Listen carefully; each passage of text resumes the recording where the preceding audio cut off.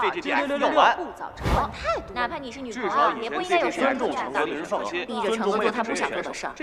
难听的话不想说太多。但是你妨碍了 ZGDX 夺冠之路，不要再麻烦摆正自己的位置。在干什么？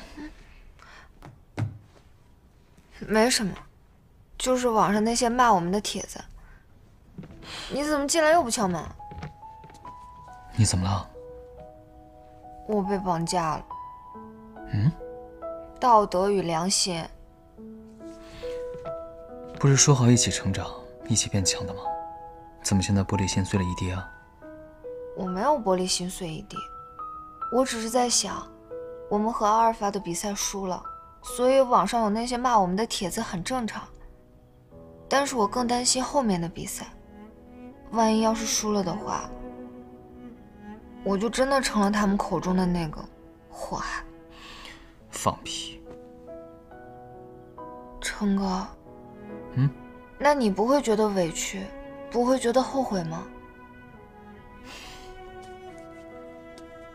没有，从来没有觉得后悔。是你想多了。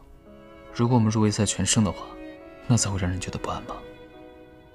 可是我不想输，哪怕是入围赛我也不想输。而且后面 YQCB 和 Fnatic 他们都很强。是啊，所以我们才要调整好心态，稍不留神状态不好，都是可能导致我们输比赛的原因。但这个原因不会是你。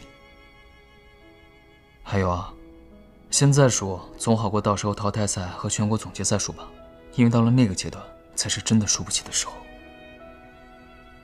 成哥，是不是觉得我为战队操碎了心？嗯。该不该犒劳我一下？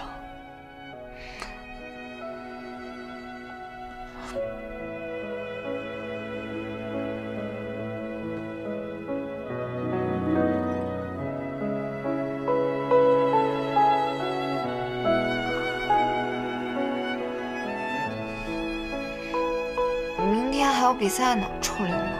我知道，放心，我们不会输的。